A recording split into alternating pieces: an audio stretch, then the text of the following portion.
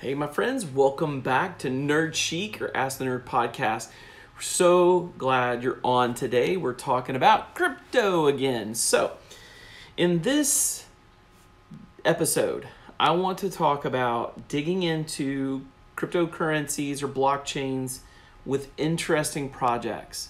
So, again, everybody's interested in the cryptocurrency, but for me, the currency itself is a bonus I'm so interested in the blockchain. What has some really interesting projects? So I want to bring today nine project based cryptocurrencies I really like. And then I'll mention a couple others at the end, but I really want to focus on these. Now, again, a lot of folks are getting the term Bitcoin in their vernacular. So whenever I say cryptocurrency, you may be thinking Bitcoin, but Bitcoin is the one standard everybody talks about. And there are then what they call altcoins.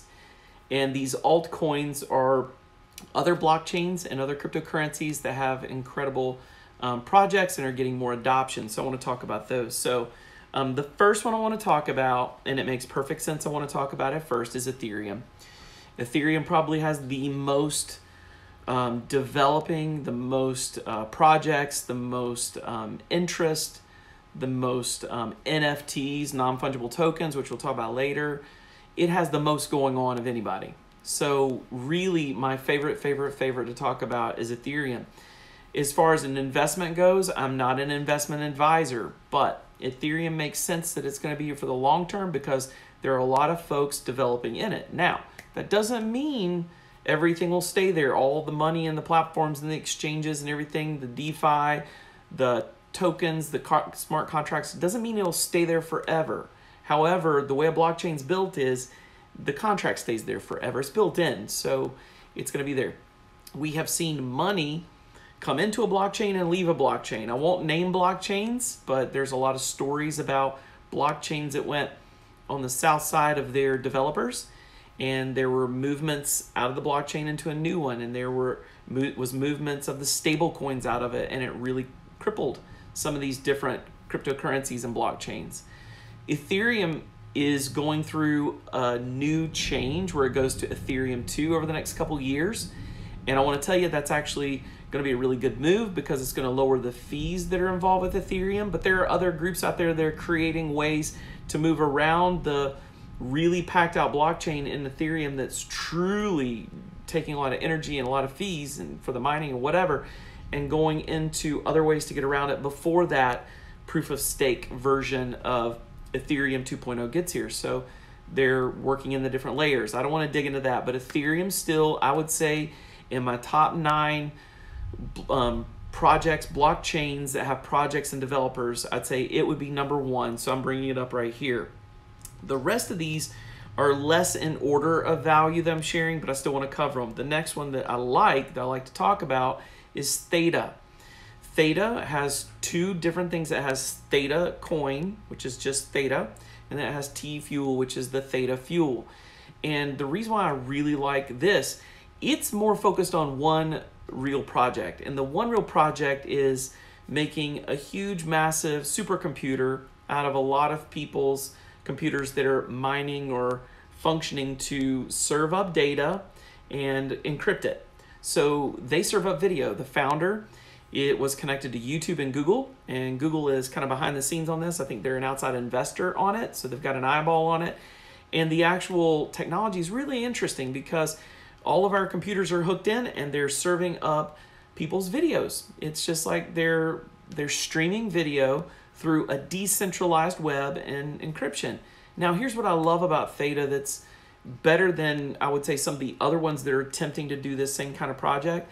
Theta has a thing where it's running in the background. When you're not serving up videos your computer is in a huge supercomputer. It's linked in into the network and the processing power that's running from your graphics card and your processor is actually running to figure out algorithms and models for stuff like cancer research and HIV research and even COVID research it's actually going on right now. So universities that don't have the means to have these supercomputers, they can tap into a Theta network, utilize the supercomputer, and it can be doing the process and working up the models. I find that very interesting.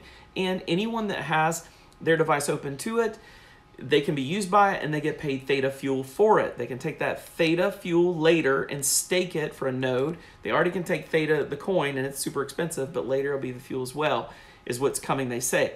So I love it. Both of these two, I've actually worked in the development side and in the um, uh, mining side. So I've mined it, I've developed on it. It's it, I love them. Okay, so that's two that projects I like. Again, this is not investment advice. It's just really cool technology that's making a lot of sense out there. It might be worth even more. It's it's done real well. Another one is Stellar. I've not been on the development side or the mining side of Stellar because that's not how it functions. But Stellar has gotten massive adoption because it's been helping groups like Marshall Islands and others create their own cryptocurrency for their country. So they're speaking into them. I think they've done three or four different projects, and the way they function is it's a super quick transaction. So the project that's behind it is very attractive. The Stellar Network is really awesome. I think there's a lot of opportunity in the future for that that blockchain, that crypto technology to really grow. So that's another one that I like. I, again, this is about projects. Invest however you want to invest, but I like the projects behind them. Some other projects I like. I like BAT, B-A-T. It's the Brave token. It's not really a coin, but it's a token give it away for people that are using the Brave browser. And that joker has gone from almost worth nothing to like worth a buck 45 or whatever. And let me get let me just be clear. I use Brave browser and I turn on rewards and I get paid to browse the web securely and privately. It's the most secure private browser I've run into. It has ads that are served up to you with a pop up or with their opening page, and they're ads I want to see because it's in the realm of cryptocurrency and the kinds of stuff I want. So I'm learning stuff when it's going on. They're serving it up. I've signed up for a number of things straight from those ads. So folks are getting revenue from me.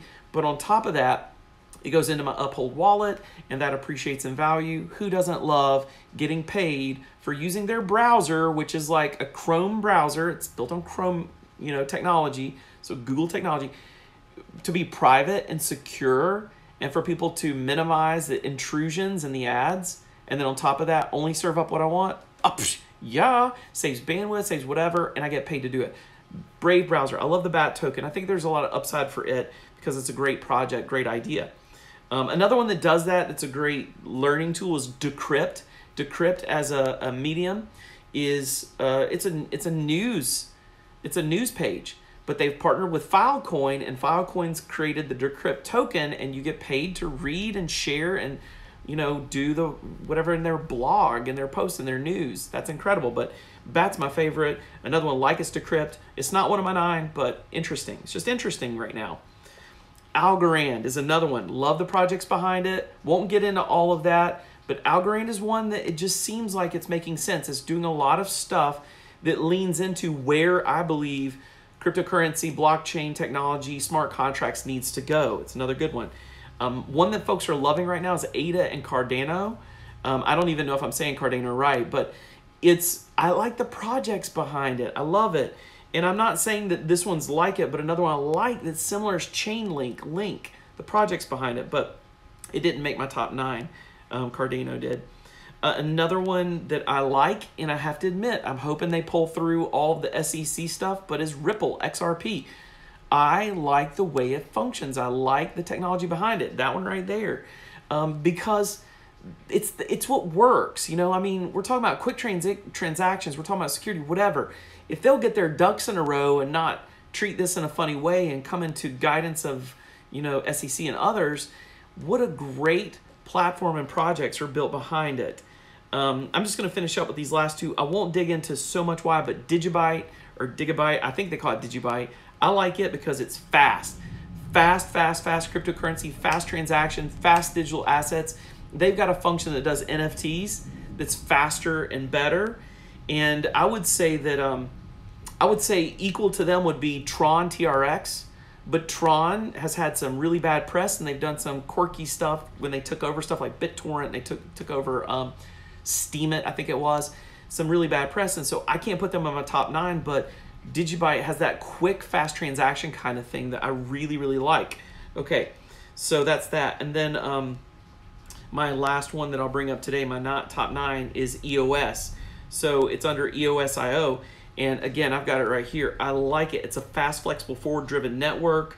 Um, it's really scalable, highly configurable. They're really good with their developers. A lot of these that I've just talked about, there's a lot of resources for developers like me. There's a lot of ways to create D apps. There's a lot of ways to whatever. And I mentioned Tron that didn't make my top nine. It does have a lot of openness for developers to get in there. Doesn't have a lot of the adoption. A lot of folks jumped ship and went back to ETH after Tron did some weird stuff. But do I like the projects? Yeah, I do. I do. So, do I like the openness for us to be able to utilize it, create non fungible tokens, to create smart contracts, to create apps, to create DeFi on top of it, decentralized finance? I love all that stuff. So, anyways, that's my top ones for today. I just want to share those with you. Hopefully, they've been helpful. But it's Ethereum, Theta, Theta Fuel, uh, Stellar, BAT, Digibyte, EOS, Algorand, Ada Cardano, XRP, and then some side ones would be Chainlink or Link, and uh, Tron, TRX. Those are, I see the value in those projects, okay?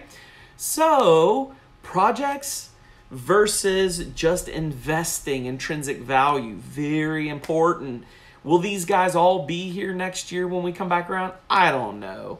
I don't know. I can't make any guarantees. I'm not a financial advisor, but I do thank you for being on here. And if you've got any questions for a nerd and a techie and a developer in this space, you want to ask them, ask them in the comments. I'll answer as best I can. There's probably people out there that can answer them better, but I'm trying to make it very simple and understandable and help you do the most you can as you take your journey into crypto. I think the next talk I'm going to do is really digging into crypto mining and some opportunities to get your feet wet there. So join back in. Be sure to subscribe to our Nerd Chic channel and the Ask the Nerd podcast. And don't forget, we got a website, askthenerd.net, and NFTs on Rarible. You guys, we're having fun now. Oh, and what about our app? I'm just saying. You guys take care.